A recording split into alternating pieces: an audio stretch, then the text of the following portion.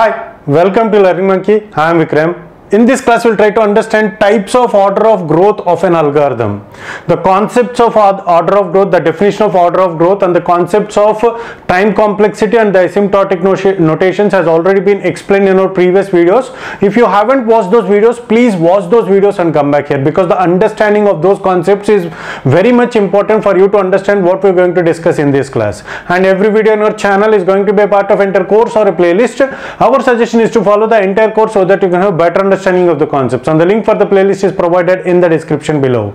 Now, what is uh, types of uh, order of growths of an algorithm? So these are the different types of order of growths that we are going to uh, that we are going to come across in this entire course for an algorithm. If you are given with an algorithm, the the the efficiency from now on order of growth and efficiency can be used. Uh, uh, we, uh, both of them are same. So consider uh, the, if you are given with an uh, algorithm the efficiency of that algorithm is going to be among one of these.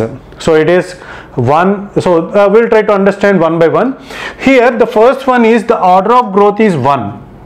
Order of growth is 1 means if we are having an algorithm and as the input of that the input given to this algorithm changes the output that i- the the number of steps that are executed in order to get that output is 1 it means that whatever the input every time it is going to take a constant amount of time. For example if you are given 100 values for 100 values also the number of steps that are executed is one step.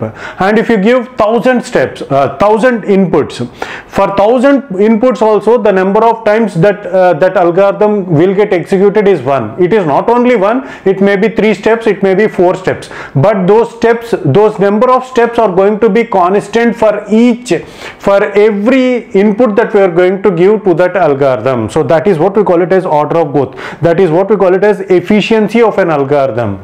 So that efficiency of an algorithm is constant. Every time we change the input it is going to take constant number of steps to get the output. So such kind of algorithms is considered. So constant order of growth of that algorithm is going to be constant okay? And the next one is logarithmic growth.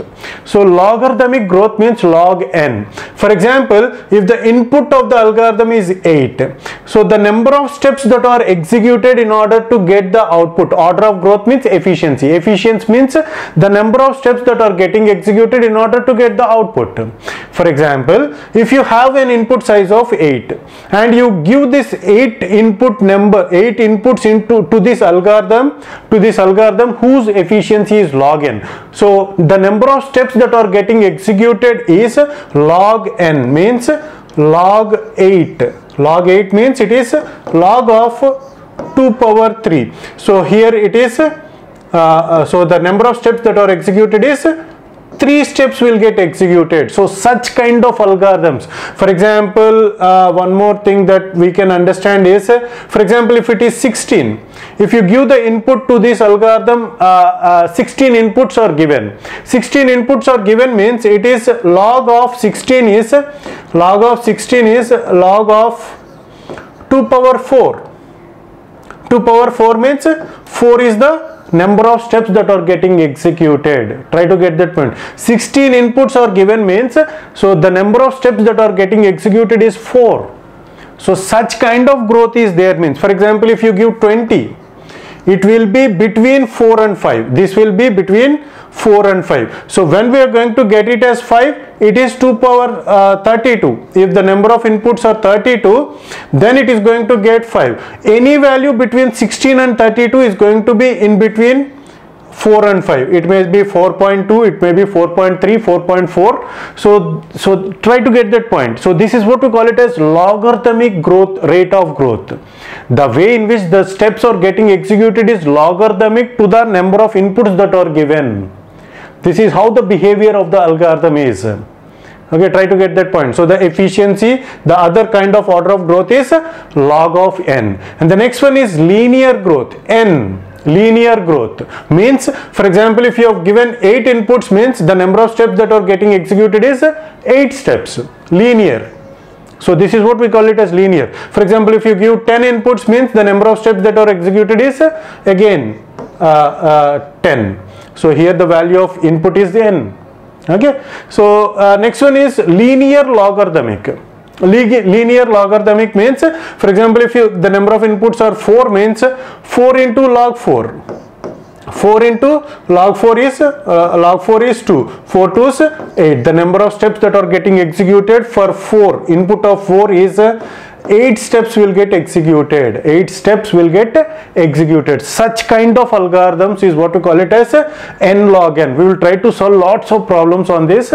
So at this point of time try to get the different types of uh, uh, uh, uh order of growth of an algorithm. And the next one is quadratic growth. For example if you give four steps uh, four inputs then it is going to be 4 square. 4 square means 4 into 4 which is 16 16 steps are getting executed in order to get the output.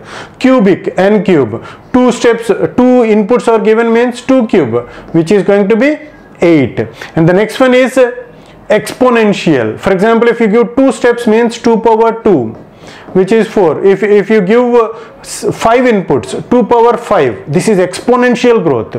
2 power 5 means 2 into 2 into 2 into which is uh, 32 steps will get executed in order to get the output.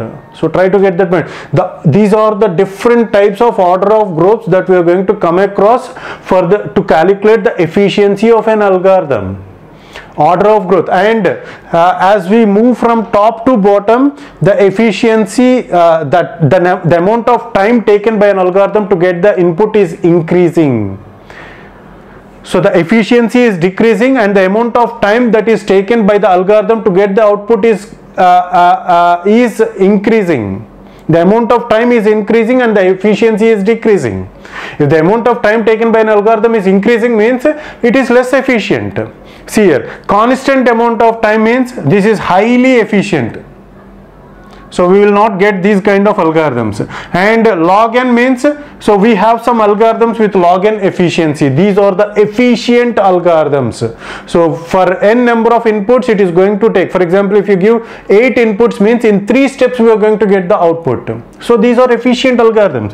For example if you take 2 power n if you have if you have 5 inputs means this is going to take 2 power n number of steps to get the output. 2 power n means 32 steps it is taking to get the output.